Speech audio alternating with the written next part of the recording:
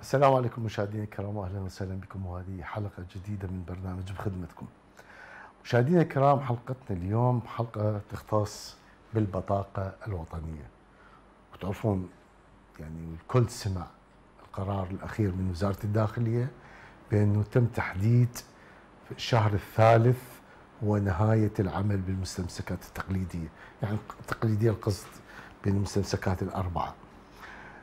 هذا شكل بصراحة ضغط كبير على منتسبي الوزاره بالدرجة الأساس وكذلك المواطنين يعني مثل ما تعرفون مدارس وامتحانات ويقول لك إحنا ما راح نلحق وأكو ازدحامات وهواي أمور الناس تسأل عنها.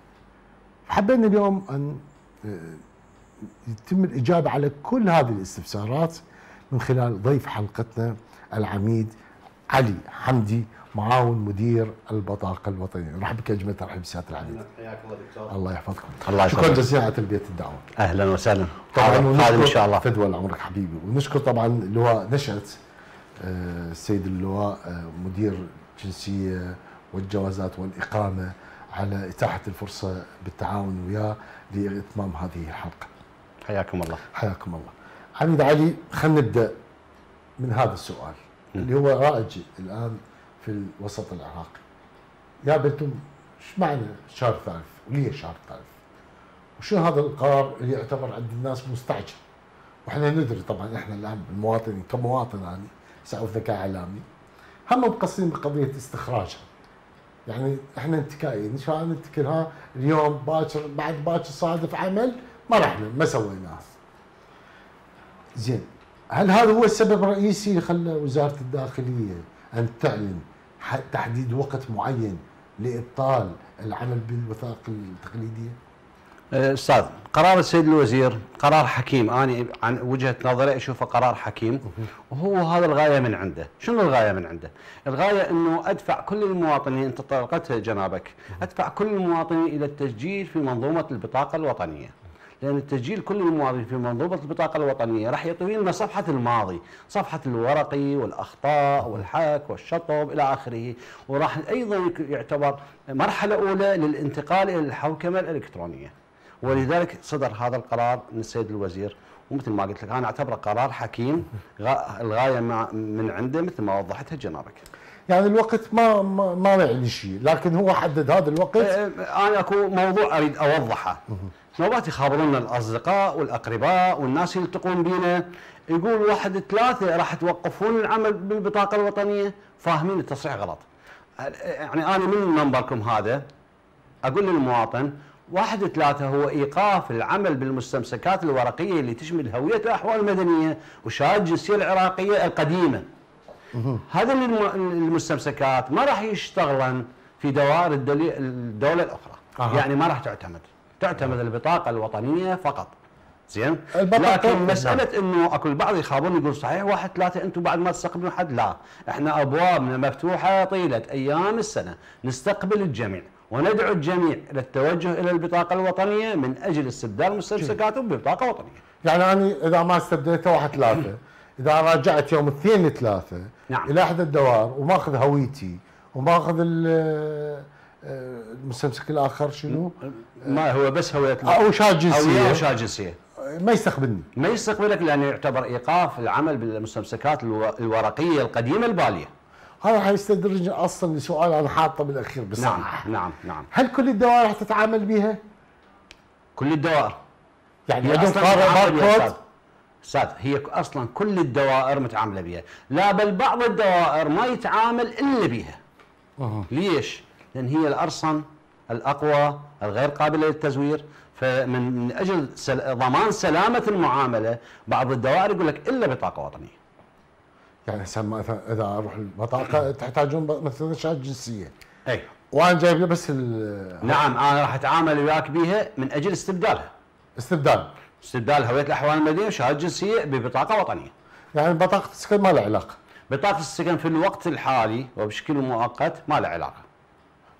يعني مش عندك ال- الوثيقتين الوثيقتين اللي هو البطاقه الوطنية وبطاقة السكن في الوقت الحالي. في الوقت الحالي. والايام الجاية إن شاء الله أها. حتى هاي بطاقة السكن راح تلغى وتجمد تدم- تدمج مع البطاقة الوطنية وفقا للقانون. هم ماتين يحتاج لازم المواطن ما يراجع يحتاج ما يحتاج. الأمور راح الموضوع راح يكون سلس جدا وسهل جدا. وراح يلاحظون هذا الشيء. يعني أنتم راسمين كل شيء مخطط نعم أكيد. عندنا عندنا مخطط وعندنا خارطة طريق لهذا الموضوع وعندنا مراحل ننتقل من مرحلة إلى مرحلة. بالفترة اللي مضت إحنا كنا بالمرحلة الأولى من البطاقة الوطنية مشروع البطاقة الوطنية مشروع فتي بالعراق. فكنا بالمرحلة الأولى. هذه السنة إن شاء الله عدينا العدة وقعنا العقود وفرنا الأموال من أجل الانتقال إلى المرحلة الثانية وراح تكون بها مفاجآت كلها تصب في مصلحة المواطن. ممتاز. بيها فلوس؟ أدفع لازم هي 5000 رسم.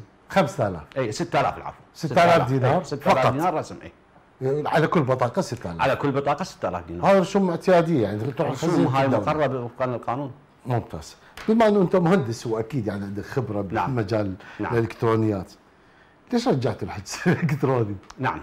آه، أستاذ أنت آه، حكيت هذا الموضوع في بداية يعني في مستهل الحلقة. قلت صار زخم على البطاقة الوطنية. تمام. نعم صار عندنا زخم كلش كبير. الزخم هذا يخلق فوضى. من أجل تنظيم الأمور من أجل وضع الأمور في نصابها من أجل تقديم أفضل خدمة للمواطن أرجعنا الحجز الإلكتروني. لكن شلون أرجعنا؟ ارجعناه بآلية جديدة. يعني حقيقة رجال الظل رجال البطاقة الوطنية المتخصصين بهذا الموضوع بذلوا جهود جبارة ال- أرجعوا الحجز ب- ب- بموقع جديد موقع رصين آه، موقع البطاقة الوطنية الخاص بالحجز الإلكتروني اللي يتعرض إلى هجمات وهجمات كلش عالية. من قبل ضعاف النفوس من أجل اختراق هذا الموقع من أجل استغلال المواطن. إحنا بالنسبة لنا بهذا الموضوع أرجعنا الحجز الإلكتروني بموقع جديد محمي بالكامل لا يمكن اختراقه. جيد. تمام. سوينا آلية جديدة للحجز. الكل مشمول بالحجز ما عدا ما عدا بعض الفئات. سابقا كانت الواقعات الإلكترونية غير مشمولة بالحجز. حاليا مشمولة بالحجز. الواقعات مشمولة بالحجز. المواطن بإمكانه أن يحجز من هاتفه الشخصي من الموبايل. ولذلك أنا منبرك هذا. أيضا أستغل المرة الثانية وأقول للمواطن ترى الحجز مجاني. إخوان مجاني. اكررها ليش مره أكو ناس- ثانية وثالثة. أكو قاعد يحجزون أكو بفلوس. بعض ضعاف النفوس من المكاتب. سابقا كانوا يستغلون المواطن. يحجز له مبالغ. مبالغ طائلة يعني مبالغ خيالية نوبات يحجز له. هسه حاليا لا. هسه حاليا أنت تحجز سجل رقم الهاتف مالتك. رقم الهاتف مالتك هذا يحجز يحجز. تجيك رسالة على الكود. دخل الكود يلا يطلع لك حجز إلكتروني. الغاية من هذا الموضوع شنو؟ قطع الطريق على ضعاف النفوس من أهل المكاتب. application لو آه، موقع حاليا للأيام القادمة إن شاء الله راح يصير application يا جيد ممتاز. آه يعني عدد يعني مثلا اليوم الحجز الالكتروني فقط الدوام الرسمي تمام؟ نعم. لو يوم كامل مفتوح. لا لا من من الصبح لحد الساعة 3 يعني دوام 8 الساعة فقط أوقات الدوام الرسمي. أوقات الدوام الرسمي الخاصة بالدائرة. أو بالمفتوح كامل باي أعداد لو لا لا أكو عدد معين. آه، عدد معين نحدد لكل دائرة حسب طاقتها الاستيعابية. الغاية من هذا الموضوع شنو؟ الغاية إنه أنا المواطن اليوم من يتوجه ما يلقى هوسه. يلقى اسمه موجود بالحجز يدخل تنجز معاملته بنفس اليوم. هو اوتوماتيكيا البرنامج يقسم نفسه إلى يقسم أيام نفسه وموجود أيضا. هسه أنت من تدخل إلى موقع الحجز الإلكتروني أكو بعض الأيام كاملة مقبطة خلينا نقول. أنت تقدر تختار اليوم الآخر. يعني راح أكو أيام معينة فارغة متاحه أها. تختارها أنت بنفسك. يعني بالموقع. نوبات مثلا أنت عسكري وت- من الوحدة مالتك أو عندك شغل ما متاح لك كل الأيام تقدر تختار اليوم الخاص بك. جيد يعني الموقع راح يبين لك بأنه الزخم وين بيا يوم. بالضبط. الموقع يبين لك إنه هذا ما بي مجال اليوم. هذا اليوم بي مجال. هذا اليوم بي مجال. جيد. فتقدر حتى تحدد الوقت اللي تريده أنت يعني. اليوم اللي التاريخ العفو اللي تريده أنت. زين شلون الآلية العمل بيها؟ تدخل على خلي أشرح أنا آسف ترى. اعطيك تفاصيل محتاج الناس نعم. أنا أريد أطرح هذا الموضوع. ممتاز. أنا أريد أن أقول العالم هذا الموضوع. أحسنت. خلي أشرح لك بأبسط طريقة. ما راح أحكي لك روابط وما شابه. راح أحكي لك بال... ب... بأسلوب عامي. تدخل على الجوجل محرك البحث جوجل. واضح. موجود بالحاسبات وموجود بالموبايلات. تكتب باللغة العربية. حز البطاقه الوطنية. البطاقة البطاقة الوطنية. الوطنية. راح يطلع لك طبعا خيارات. أول خيار تدخل عليه راح تطلع لك الواجهة الخاصة بالبطاقة الوطنية. بيها بالبداية تعليمات وأكو مستطيل بالأسفل باللون الأسود. مكتوب عليه الحجز الإلكتروني. تضغط على هذا المستطيل تدخل إلى واجهة حل- الحجز الإلكتروني. بها مجموعة من ال ال ال يعني الفراغات أو البوكس الخاص بالمواطنين. الاسم الأول الاسم الثاني الاسم الثالث. الدائره مالتك أي دائرة آه، آه، رقم الموبايل. هنا اكد على المواطن بالرقم الموبايل. هذا يكون صحيح. يتوخى الدقة يكون صحيح ويكتبه باللغة الإنجليزية. بالإنجليزي؟ باللغة الإنجليزية. يعني الرقم بالإنجليزي. يكتبه. راح تجي أول ما يضغط حجز راح تجي رسالة رسالة على التليفون مالته. كود. يرجع يدخل الكود. حتى تمشي البطاقه تتفعل. بالضبط. ورا ما يكمل الحجز أيضا راح تجي رسالة عن على رقم الحجز مالته وموعد الحجز مالته. اوتوماتيكيا ب... يعني بالنتيجة سيادة العميد. نعم. حتى لو نخلى رقمه غلط مم. خطأ فما راح تجي الرسالة. بالضبط. ولذلك بهاي الطريقة إحنا قطعنا الطريق عن أصحاب بعض أصحاب المكاتب اللي هم يستغلون المواطن. ضعف النفوس ممتاز. زين عندي سؤال يعني هسه أثناء حديثك جت فكرة ببالي. نعم. وإحنا يمكن تحدثنا بها لكن جت هسه استذكارا لها عندك المنتسب قاعد وأنت مسخر وقته لملء الاستمارة وإدخال البيانات نعم. وأخذ ال screen وبعدين تدخل هاي البيانات. وهاي تفاصيل كثيرة. خل نقلل العبء عليكم. نعم. هذا مقترح. مم. أن أنا كمواطن مثل ما مليت الاستمارة. بالبيت. وجدت المعلومات المطابقه أيضا آخذ سكنر بالبيت. إذا كان عندي سكنر. نعم. وإذا ماكو مكاتب. تأخذ سكنر المعلومات وتملي هاي الاستمارة بكامل تفاصيلها وتوصل إليك. بحيث من أجي أنا يمك بالدائرة. مم. يجي لي المدقق مباشرة للمدقق. أنا جايبها مستمسكاتي. لكن يدقق المعلومات موجودة كما هي والسكنر ماخذ صحيح. الواجهة الصورة خلفية بيضاء وهاي التفاصيل كل التفاصيل. نعم. مو هذا أعتقد راح يقلل شوية من الروتين. دكتور أنا شرحت لك بالبداية قلت لك إحنا كبطاقة وطنية دا ننتقل من مرحلة إلى مرحلة. أنت تريد تفسد علينا المفاجآت. ها نعم. يا. اكو إن شاء الله هيك فكرة؟ جيد. للمستقبل بس الموضوع شوي يحب صبر. آه. لنشتغل عليه إن شاء الله. إن شاء الله تنفذ. جيد. إذا تحبون استشارات مجانية طبعا أكيد. أكيد. آه، يعني يعني سبحان الله موفقين بعملكم. ممنون يعني اللي يفكر بهالطريقة ويريد يقلل من الاعباء وأكثر من هاي الطريقة أكو. يا الله. إن شاء الله. بس ما ما نريد نستعجل. الأمور. آه. ما نريد نستعجل الأمور. كل شيء بوقته حلو. يا الله. موفقين بعملكم إن شاء الله. آه، فتحتوا منافذ جديدة بما إنه أنتم أعلنتوا عن هذا وصار الزخم. يحتاج إلى أماكن حتى تستقطب. يعني أنا بصراحة مثال عليها أي. وايد ناس حكوا لي بيه قضيه المدينة. مدينة قال العدد مخيف دا يجي. نعم، لأن نعم. ثقل المدينة هناك. وعميد هيثم هيثم مدير أعتقد مو مال المدينة. عميد هيثم نعم. هذا الرجل يعني معروف عنه رجل خلوق مؤدب. نعم. يتعامل مع الناس بود أنا شايفه بنظر عين يعني صحيح جدا. وحاضر وياه بالتصوير نعم ودائما تشوفه مبتسم يعني رغم نعم. كل عميد هيثم رجل يعني أمانة. يشار له بالبنان حقيقة. أمانة. لكن هذا أيضا ضغط على عميد هيثم على المنتسبين على كذا والناس أيضا اللي طالعه عارف شغلها والمرأة عارفه أطفالها بالبيت أو بالمطبخ أو التفاصيل وجدتوا منفذ آخر والله آه، دكتور يعني حقيقة آه، منتسبي البطاقة الوطنية بضباطهم بمنتسبيهم بموظفيهم يبذلون جهود جهود جبارة صحيح. يعني مضنية ومتعبة لكن الحمد لله الناس يعني بخدمة الناس وما متعازين أبدا من هذا الموضوع. بالنسبة للمنافذ هي دور الأحوال نفسها. تطرقت إلى مدينة الصدر. حقيقة بجهود جبارة وذاتية وبإشراف مباشر من قبل نفس اللواء نشأة مدير أحوال المدينة وجهة الإقامة. أكو عندنا أحد البنايات سابقا كان الشهادة اللي هي بساحة المظفر الشهادة ما آه. ساحة المظفر هي مجلس استغلت هاي البناية. مجلس بلدي استغلت هذه البناية أصبحت بناية ملحقة بدائرة أحوال الصدر. جميل. خصصت لصور القيود. أها حلو. نعم والتسليم. في سبيل أن نخفف الضغط عن الدائرة الرئيسية. صدق بخصوص التسليم. أي. أنا كملت إجراءاتي. نعم. استلمها من نفس الدائرة؟ من نفس الدائرة بالدوام المسائي. دوام مسائي. دوام يعني المسائي ما مخصص للتسليم. فقط المسائل التسليم. فقط المسائل التسليم بكل العراق. زين أنا رحت قدمت بياناتي نعم. يمتى أستلم البطاقة؟ أسبوع أسبوعين؟ البطاقة تنطبع بنفس اليوم. تنطبع. بنفس اليوم أو ثاني يوم. يبقى المعتمد لما ينقلها من موقع الطباعة إلى الدائرة يعني أحكي لك فيما يخص بغداد. واضح. يوم أو يومين. بالزايد. يومين. أي تعرف هاي ينقلها المعتمد يوصلها للدائرة. أكو أمور تنظيمية بالدائرة يبوبوها ويوزعوها ويقسموها. هم تتطلب وقت هذه.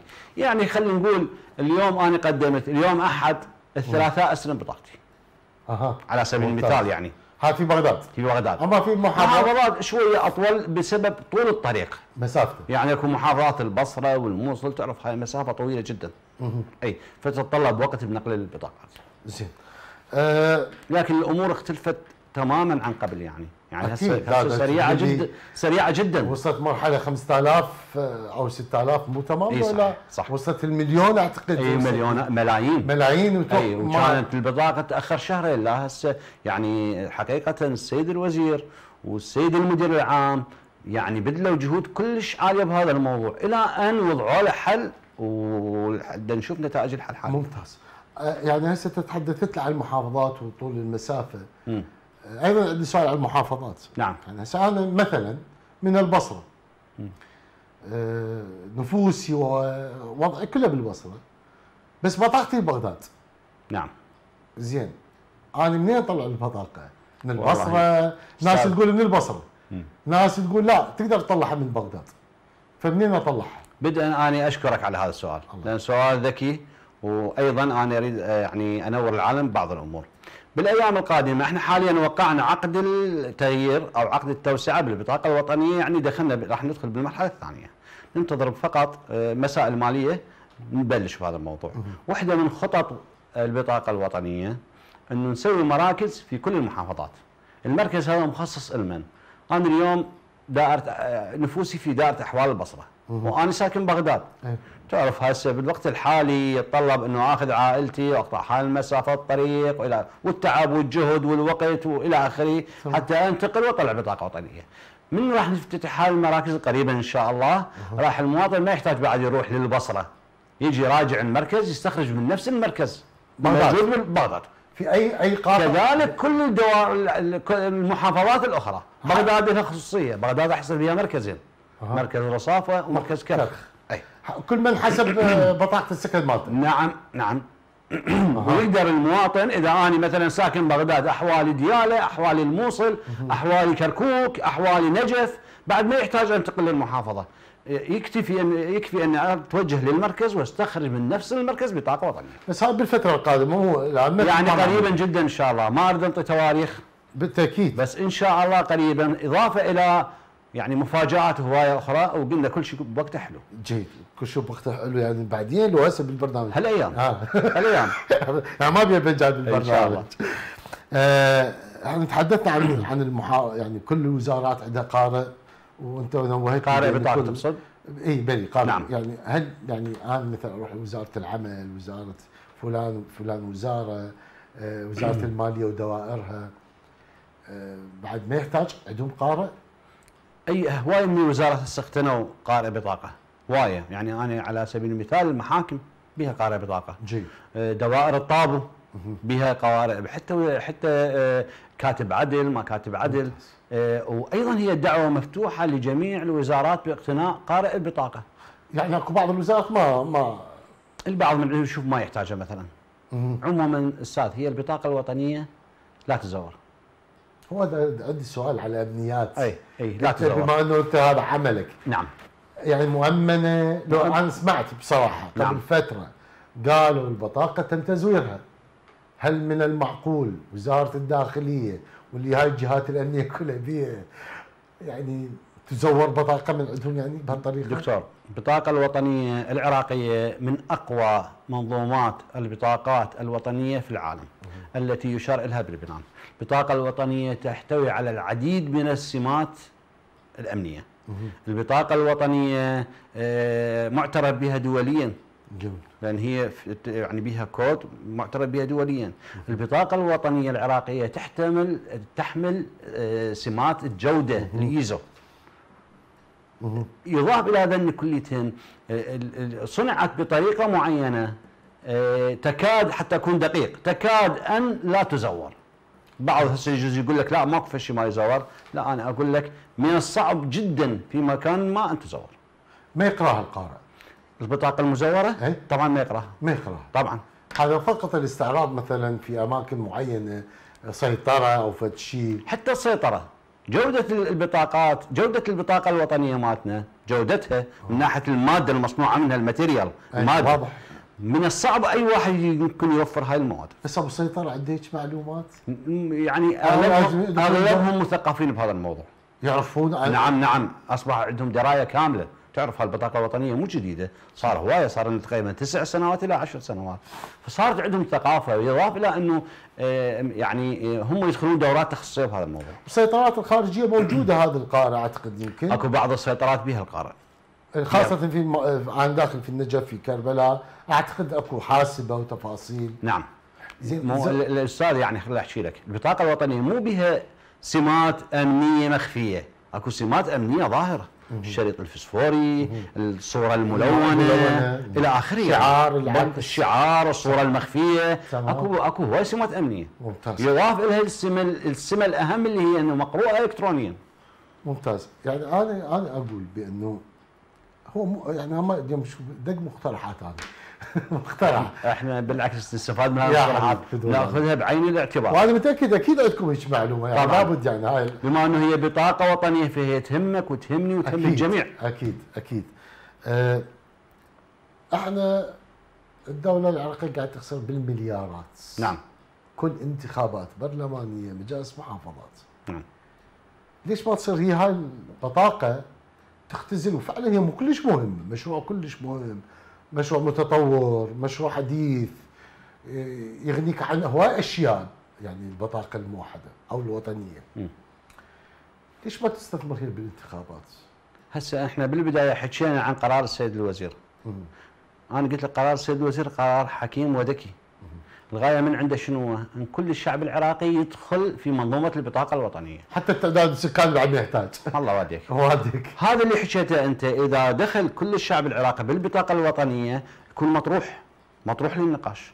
أن تكون البطاقة البطاقه منظوم قاعدة بيانات البطاقة الوطنية قاعدة متكاملة. فعلا فممكن استخدامها بالانتخابات ممكن استخدامها بالتجارة ممكن في وزارة التجارة ممكن استخدامها استغلالها من قبل وزارة التخطيط. وأيضا إحنا راسمين بهذا الموضوع. إحنا بالأيام القادمة قلت لك إحنا دخلنا في عقد التوسعة. ممتاز. من ضمن آه، ال- الأوبشنات الخاصة بعقد آه. التوسعة هي إنشاء محطة وسطية؟ المحطة الوسطية هذه عبارة عن قاعدة بيانات. كوبي موجودة بها ممكن لأي وزارة أن تربط بقاعدة البطاقة الوطنية واستثمارها من أجل مصلحة المواطن. آه. فهاي واحدة من الشغلات اللي.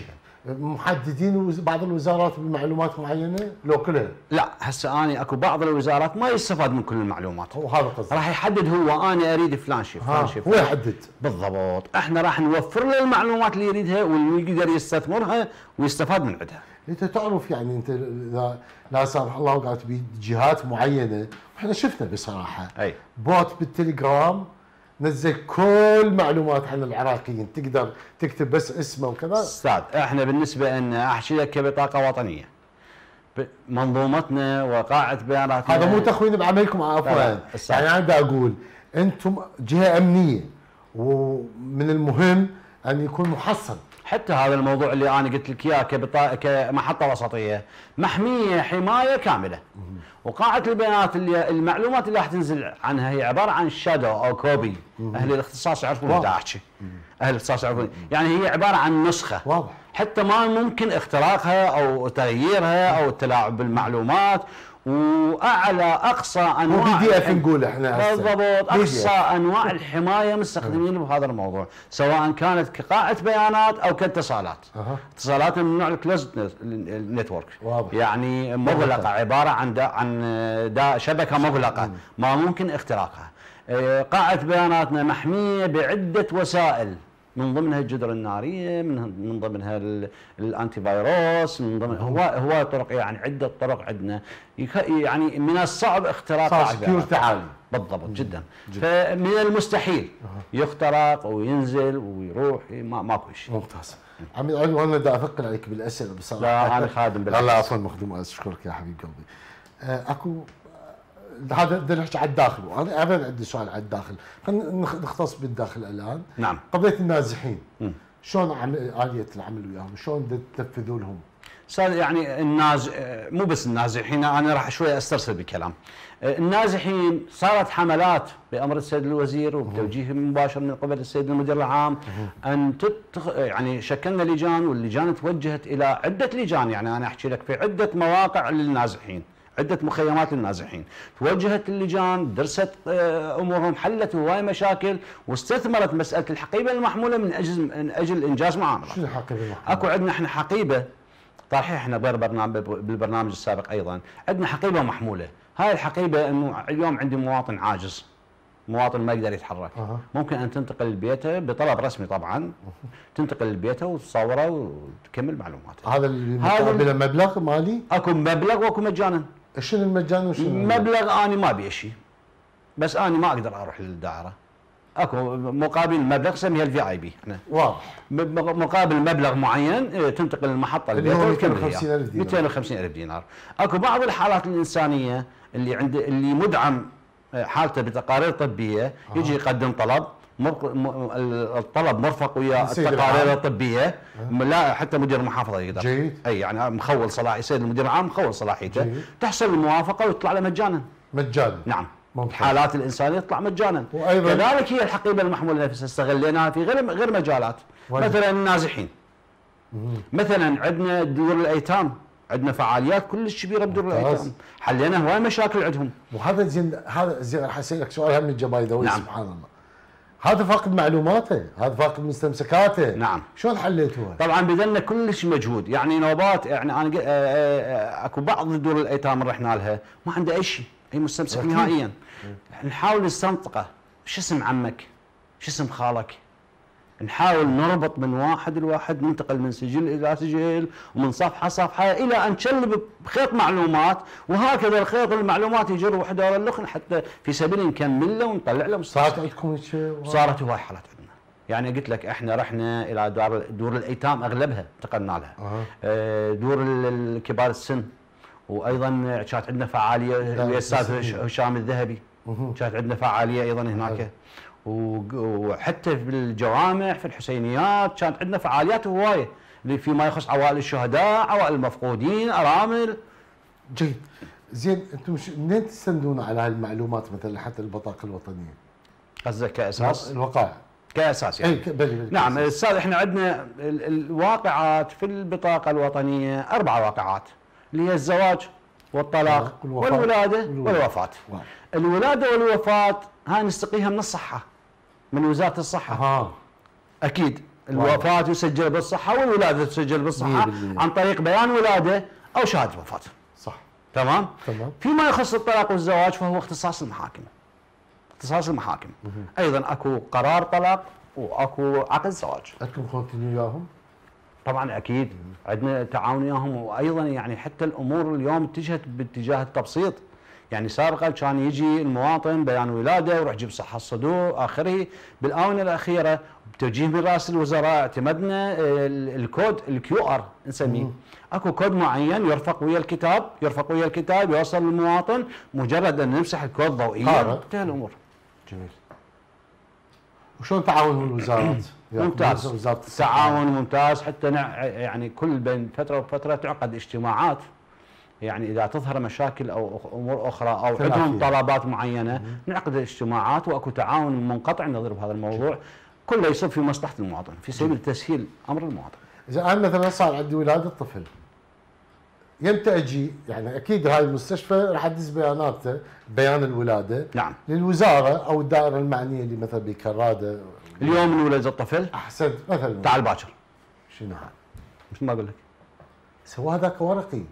ما يخالف. أستاذ ال- الصحة صدرت ثلاث بيانات بألوان. اللون الأبيض صح. واللون الوردي الأدب. واللون الأخضر. أي، الورد اللون. الأخضر يبقى يمهم تمام. واللون الأبيض يوصل بالبريد تمام. واللون الوردي يبقى يم المواطن. صح.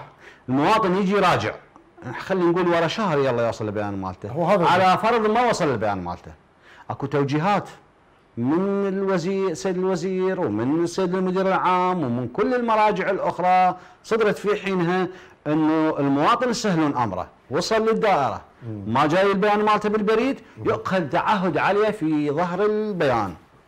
في ظهر الاستماره العفو. يؤخذ تعهد عليه أنه آني هذا البيان مالتي صحيح وراح يوصل البيان الأصلي عن طريق البريد وتمشون أمره. يعني مو بالضرورة المواطن ينتظر ويا ما يوصل البريد. جميل هسه راح نرجع لأهم منفذ أهم فقرة بيها. نعم. بما إنه حجزنا الكتروني أنا مثلا عندي أولاد دون 12 بس يقول يابا ما يفيدك لا تراجع لي ما راح يعطوك بطاقة وطنية لأطفالك. مم. فقط حديث الولادة. نعم. زين إذا أنتم يا وزاره الداخلية حديث الولادة تمنحوه واللي هو هو جماعته إحنا مو بس حديث الولادة أستاذ اللي ما عنده صورة تحت ال 12 احكي لك دا احكي لك تحت ال 12 تحت ال 12 اللي ما عنده صورة نمنحه ما عنده اكو سابقا كان جناسي ما بيصور ما بيصير مكتوب عليها طفل. طفل. إذا طلب رسمي من المدرسة المدرسة مالته شافت إنه هاي صورته طفل ومن كبر صار غير شكل وغير معرف بالنسبة لهم يطلبون بكتاب رسمي استبدال. هويته المدرسة لازم تصدقها من التربية. لا لا لا, لا؟ ما يحتاج. كتاب من المدرسة بختم المدرسة. ختم المدرسة. ما يحتاج ما يحتاج هذا التعقيد كليته. جم... مواليد لا لا لا ما يحتاج. يعني مجرد كتاب من المدرسة. طلب استبداله. أي دائرة أخرى تطلب استبداله؟ أي دائرة أخرى؟ دائرة حكومية تطلب استبداله. كذلك آه، الضائعه يعني أنا اليوم أنا اليوم عندي طفل آه، تحت ال 12 وضاعت. تصدر له بطاقة وطنية. صدر بطاقه قلت لك أكو تسهيل كلش قوي بهذا الموضوع. أنا ادعو المواطنين روحوا روحوا أكو وين راح يصالون وياكم؟ سيد لك بالخير المدراء وأيضاً- يقول لك هاي هاي هيجم علينا أو أيوه لا ماكو هجوم. إحنا حجز إلكتروني كل شيء محدد بوقته. أيضا أعطيك معلومة. في الأيام القادمة أكو تحرك باتجاه هذا الموضوع واحتمال كبير جدا. لا بنا الأزم انه من الأكيد إنه راح المسألة تحت ال 12 سنة يلغى والكل يراجعون. لأن إحنا بال- ب- بهاي السنة يعني السيد الوزير والسيد المدير العام عازمين ومصرين على أن نكمل قاعدة بيانات الشعب العراقي، كل الشعب العراقي يدخل في في منظومة البطاقة الوطنية. يعني أنت دا تقول لي احتمال الأيام القادمة القريبة أنت تقول قريبا إن شاء الله. قريبة يعني نعم. احتمال طولة أقل الموضوع الموضوع أي موضوع إحنا ما ممكن نصدر قرار اعتباطا. يجب أن يدرس ويدرس من كل الجوانب وبشكل دقيق حتى لا تصير بعدين تبعات. سلبية على القرار. صحيح فهو تحت الدراسة وإن شاء الله يكتمل الأيام الجاية. إذا اكتمل يعني دون 12 بإمكانهم يستخدموا كل يشمل. يشملون بغض النظر عن العمر. لكن هذا القرار ليس الآن حتى ينزلون الاخوان خالدين ينزلون أخبار هام بأنه هذا القرار بس أنا يعني قلت لك أكو تسهيل كلش قوي بهذا الموضوع، موضوع تحت ال 12 سنة. ممتاز أكو إشكالية رقم البطاقة. نعم. يعني أكو ناس مثلا خطأ بالمواليد. نعم هذا الموضوع مطروح هواي نعم. نعم. ومشكلة كبيرة امم بأنه هذا الرقم على قولة الإخوان يعني يعني جنابكم امم هذا الرقم ما ممكن يعدل. نعم. هذا الرقم الوطني اي لكل إنسان عراقي نعم. يبقى إلى ما بعد مماته هذا يصدر لمرة واحدة. على مدى حياتهم بعد مماته ويصدر بدون تدخل بشر. آه. المنظومة هي نعم مو إحنا نوضع الرقم، المنظومه المنظومة اوتوماتيكيا تختار رقم تختار الرقم. وبشكل عشوائي بس أول أرقام تختار اللي هي مواليد. المواليد والرقم اللي وراه هو رقم عشوائي يتولد اوتوماتيكيا. جيد. من خلال خوارزميه وخوارزميه معقدة يعني. مهم. أي. هسه بعض الناس دا يجي يطلع بطاقة. سهوا أخطأنا بالمواليد. اجى بعدين عدل المواليد. اختلفت مواليده سنه رقم المواليد. على رقم البطاقة الوطنية. آه. أنا من منبرك هذا أقول يعني للجميع. الرقم الوطني ما ممكن تغييره. من يصدر لأول مرة بعد ما يتغير. والرقم الوطني ما له علاقة بالمواطن بالمواليد. هاي شيء وهذا شيء. يعني شلون الأرقام الأولى الأربعة تقرأ مواليد؟ هذا هو ال- ال- كم- كمنظومة بطاقة وطنية ترتب هيك. ترتب على المعلومات. انه أنا أقول له هذا هاي مواليد مواليده موجودة في حق الآخر خاص بها. هذا شيء وهذا شيء. هذه مسألة تنظيمية. ماكو بعض الدوائر يقول لك نعتمد المواليد هاي. لا لا هذا منظور خاطئ. ما يصير ما يصير يعني من الخطأ تعتمد أول أربع أرقام من الرقم الوطني كمواليد لأن هذا رقم وطني وليست مواليد. أكو حقل خاص بالمواليد يقدر يعتمده. هذاك موضح بالكامل مفصل يوم وشهر وسنة. وبياناتك كلها موجودة. بالضبط. يعني حتى السكانر موجود فأني مو يعني من من الخاطئ أن أعتمد الرقم الوطني كمواليد. هذا رقم وطني هذا ما له علاقة بالمواليد. من الرقم الوطني ومن رقم العائلة؟ رقم الوطني. الرقم الوطني هو رقم فريد. رقم فريد. يصدر للمواطن من لحظة ولادته ويستمر إلى ما بعد مماته. ويمنح للمواطن لمرة واحدة. وما ممكن أن يشابه لأي رقم آخر لأي فرد عراقي آخر. زين. الرقم العائلي هو أيضا رقم فريد لكن فريد على مستوى العوائل يمنح على مستوى العائلة بمعنى آخر اللي عند يمنح للأب هو نفسه للزوجة هو نفسه للأولاد إلى اخره. رقمك العائلي ما يشبه رقم العائلة الأخرى. وكذلك ما يشبه رقم العائلة الأخرى. خلينا نفكك شوي عند الناس عارف نعم أنا أكو عندي رقم خاص أي. اللي هو رقم وطني. الوطني مالتي. تمام. زوجتي هم عندها رقم وطني خاص بيها نعم يختلف عن رقمك. يختلف عن رقم وكذلك الأولاد. تمام. هسه نيجي على المنظومة العائلة أنتم كلكم تشابهون بالرقم العائلي. أحسنت هو هذا اللي نعم. نعم. أوصله. الغاية من عندي حتى أعطيك إياها. هو هذا. البعض يجي يقول ليش ما مسجلين اسم الزوجة واسم ظهر البطاقة مثل ما كان النظام القديم بالهوية الأحوال المدنية؟ أقول له أنت إذا رحت للفندق وتطابق رقمك العائلي فهي زوجتك. أها فإذا أبو الفندق عندهم طبعا عندهم صارت هاي المعلومات وهاي الخبرة الشعب العراقي صار عنده خبرة بهذا الموضوع. جميل. وحتى توجيهات صدرت بهذا الموضوع. مم. آه اليوم أنا أروح الفندق. شلون يعرف هاي زوجتي أو هاي أحد أفراد عائلتي من خلال الرقم مطابقة الرقم العائلي. الطابق الرقم العائلي فها هي. تمام. هسه ننتقل أعتقد بسؤال أخير يعني. أي. يعني خذ من وقتك وأيضا وقت البرنامج ما قال خمس دقائق أو ست دقائق. إن شاء الله. خارج العراق يعني أيضا لهم حصة بالموضوع. نعم. هي ذو شقين هذا السؤال. شلون تصدر لهم بطايق وطنية؟ يعني هل دولتهم اللي ساكنين بها لو يجي العراق يكمل إجراءاته؟ وكل ناس عندها صعوبة أن تجي العراق تعرف تذاكر وسفر. والشق الثاني من السؤال البعض منهم واللي ودتني مشكلة قبل فترة لكن ما كنت مستضيفكم يقول بأنه إحنا أسماءنا مح... يعني حركية. حركية. يعني نعم. سافرنا غادرنا بسبب صدام وكذا. فبقت بذيك الدولة اسم الحركه لكن في بغداد يقرأ الاسم الحقيقي. زين أنا شلون راح أعالج هذا الموضوع؟ أستاذ اولا خلي نبدأ بالشق الأول من السؤال. بل. الشق الأول تضمن مكاتب في الخارج تقصد. نعم. في السنة الماضية بال 2023 بذلت جهود مضنية. يعني دراسات آه، بحوث اجتماعات حتى مع وزارة الخارجية من أجل تنظيم هذا الموضوع. الحمد لله كملنا هذا الشيء وقعنا العقد التوسعة، عقد التوسعة واحدة من أوبشناته أنه نفتح مكاتب بالخارج. جميل. راح تفتح خم... آه، مكاتب في 25 دولة. ممتاز كمرحلة أولى بالأيام القادمة راح تفتتح في خمس دول اللي هي الأكثر كثافة من ناحية الجالية الجالية العراقية. الولايات المتحده لا ما يعني ما أقدر أحدد لك أسماء آه. هاي اللي تحدد جيد. منها وزارة الخارجية. واضح هي تعرف. بالضبط أدق من عندنا بهذا الموضوع أكيد. إنه بالضبط أنا إيش قد عندي جالية عراقية خمس دول كمرحلة أولى وراح تتابع هذا التجريب. لو لا خرج لا هذا بلشنا. ماكو تجربه بعد خمس آه، مكاتب في خمس دول تتبعها خمسة أخرى خمسة أخرى إلى أن نوصل إلى ال 25 دولة والاي السنين اللي وراها لا احتمال في كل مكان راح يصير عندنا مكتب. ممتاز. هذا ينحل هذا الموضوع. جيد. وهذا عفوا نعم. آه، حميد علي. يعني هاي المكاتب راح تصير أكيد في مبنى القنصلية أو في مبنى السفارة العراقية أو القنصلية العراقية. واضح. آه، الشق الثاني من سؤالك قلت لي أكو بعض ال- الأسماء وهمية أو أسماء حركية. حركية. أستاذ إحنا من الناحية القانونية نعتمد الاسم المثبت في سجلات الأحوال المدنية. ممكن أنه ذاك الشخص إذا عنده أي مستمسك أي مستمسك يوصلنا إلى سجل والصفحة مالته فالموضوع مح- محلول. محلول تماما يعني. أكو تسهيلات بهذا الموضوع هوايه قلت لك أنا حكي يعني حكيت لك ضربت لك مثل بالمراكز الايتام ما فعلا. عنده أي ما مستمسك. أصلا ما يعني حتى اسمه اللي ينادوه بالمركز هو الأيتام مو. هو اسمه الحقيقي.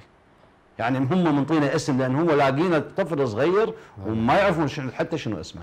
لكن اعتمادكم على قدرنا منو خالك منو عمك منو كذا كذا كذا إلى آخره إلى أن نصل إلى خيط ولو صغير. ونكمل بقية المعلومات. جميل. آه، اذا اذا نحن سيادة العميد بصراحة الأسئلة تتفرع هواية اي بما يخص البطاقة وهي كلش طبعا مهمة موضوع موضوع الساعة بصراحه كل الناس يقول إحنا شو راح نقدم شو راح ن...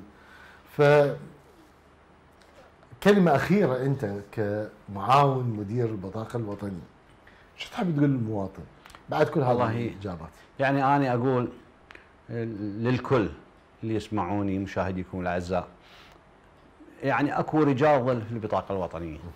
حقيقة دي يبذلون جهود وجهود جبارة. يعني يوصل في بعض الأحيان هم يواصلون الليل مع النهار. يعني حتى إحنا وصلنا إلى مرحلة في بعض الأماكن قمنا نداوم ثلاث دوامات ثلاث شفتات في سبيل أن نقدم خدمة. مقابل هذه الخدمة نطلب من الشعب من من كل فرد عراقي أنه يتوجه للبطاقة الوطنية عن طريق الحجز الإلكتروني ومن يدخل للبطاقة يقرأ التعليمات بعناية ويتعاون مع المواط- المواطن من مع الموظف العفو المكلف الموظف أو الضابط أو المنتسب من أجل أن تجهز معاملته بالسرعة ونقدم له أفضل خدمة. جزاكم الله خير سيدي العميد فقط آه عندنا مناشدة اليوم وصلت لنا فاملنا أن لازم أذكر هذه المناشدة وخدمتكم إن شاء الله. مناشده تقول السلام عليكم. آه أنا المنتسب في وزارة الدفاع علي مجيد عكش الأسدي من ذوي الشهداء لدي شهيدان. أخوتي وأخ ثالث جريح نسبة العجز 40% قدمت نقل خدمات من مؤسسة الشهداء قبل سنة وتم تزويد بكتابين تأييد استشهاد لنقل الخدمات لي من وزارة الدفاع إلى وزارة النفط.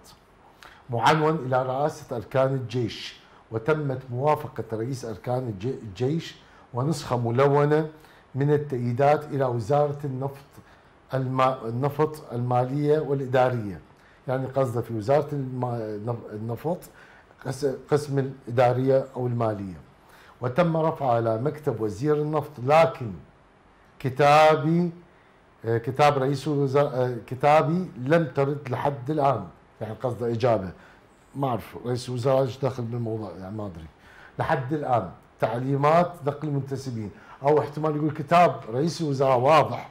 بتعليمات نقل آه، عوائل الشهداء وأعتقد ذكر قبل أيام أيضا كتاب تأييد خاصة المنتسبين اللي يرمون الذهاب إلى وزارة النفط تحديدا وتحويلهم إلى موظفين ليتم نقلهم إلى الوزارات الأخرى. أعتقد على هذا الكتاب ده يحكي. نناشدكم مخاطبة السيد رئيس مجلس الوزراء بإصدار تعليمات نقل المنتسبين الذي لديهم معاملة في رئاسة أركان الجيش وتحويلهم إلى موظفين ليتسنى لنا إكمال النقل والذي لديهم شهادة إعداديا فما فوق مؤشرة في الموارد البشرية. يعني هاي بصراحة يعني اللي عنده شهيدين وعنده أخ ثالث جريح ونسبة العجز مالته 40% يعني وزارة الدفاع ليش ما ت- أو هي منطية انفكاك زي وزارة النفط أو عدم ممانعة مو انفكاك عدم ممانعة لكن وزارة النفط ليش أنت ما آه، قبول؟ ليش ما تعطون عدم ممانعة؟ يعني هذه مناشدة لرئيس الوزراء يحتاج إلى تدخل بصراحة بعمل بعض الوزارات اللي ما قاعد تمشي بقرارات رئاسة الوزراء صدقني يا رئيس الوزراء يكون اكو لجان حقيقية تفتر بالوزارات. راح أشوف بعض الوزارات مدى تطبق أمر مجلس الوزراء. وهذه مو جديدة. على مدار حقب زمنية. كل رئيس وزراء يجي بصراحة مع احترامي لجنابك ما يمشون المعاملة قال إذا رئيس الوزراء موقع خلي تروح. خلي تصير يعني وين تبين هيبة الدولة؟ إذا وزارة ووزارة ثانية ما تمشي أمر. فيا ريت أن تكون لجنة متابعة في كل وزارة. شأنها تسيير معاملات الناس وتسيير هسه مو بس تسيير معاملات الناس هسه إحنا إحنا على تسيير توقيع رئيس الوزراء أو كتاب رئيس الوزراء على العموم. هذه رسالة لمكتب رئيس الوزراء أو دولة رئيس الوزراء الأستاذ محمد الشيع السوداني. نظن بك خيرا وأنت فعلا رجل لديك طموح كبير في خدمة البلد وعندك مشروع حقيقي. نتمنى أن يطبق ويستكمل هذا المشروع ببعض الإجراءات البسيطة اللي تلك عملكم في مجلس الوزراء. في الختام نشكر شكر جزيل السيد أهلا وسهلا. علي حمدي معاون مدير البطاقة الوطنية. شكرا لحضورك شكرا على الاجوبه كل الهلا. يا مرحبا. حبيبي سياده العلي في ختام الحلقة مشاهدينا الكرام تقبلوا تحيات كادر البرنامج. وأنا مؤدب مقدم البرنامج حازم الحرب. ألتقيكم بإذن تعالى يوم السبت القادم في الساعة التاسعة مساء. في أمان الله وحفظه.